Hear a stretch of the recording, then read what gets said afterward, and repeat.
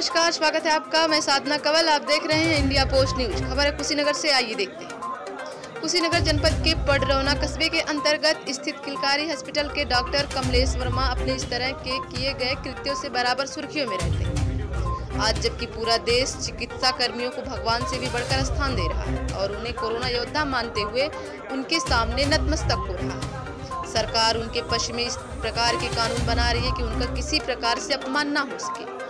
ऐसे में इस प्रकार की कृत्यों से चिकित्सा का पेशा शर्मसार हो रहा है।